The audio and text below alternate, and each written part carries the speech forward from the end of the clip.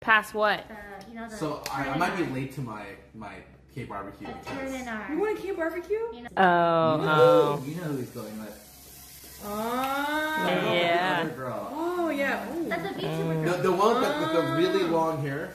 Yeah. The One with Yeah. a big Ah.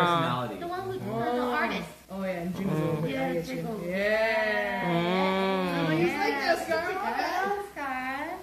I hope you guys have a VTuber wedding. And have VTuber children. She has a weird distorted perception of me, and it's I think Scar fucked is up. gonna marry Feels a pretty accurate, I don't know. girl. She has a be- she has a weird perception of Do me. you think she'll, do you think she'll be like a scaly though? Ooh, what's that again? I'm, I'm gonna marry. Scar is a scaly. I'm gonna marry the most like, normal It's like furry, but like girl animals that have No, you're not. scales. No, She'll you're be not. Free, bruh, but in a good way. Oh my god. Wait, what? I'm taking the camera back to the noodles now. They have to grow up someday. well, what are we betting? We eat dinner with every.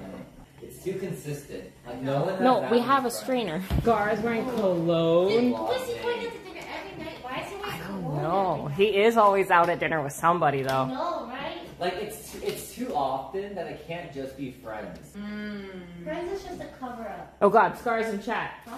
Everyone hide. Uh oh. Hey, ask Scar what cologne he wears so I could buy some. Hey Scar, what cologne what cologne are you wearing tonight? That's probably why he plays Victor in Tekken. Like Victor wears cologne. He does, and it smells. Definitely. Victor wears cologne, but it smells like too strong and no one likes it.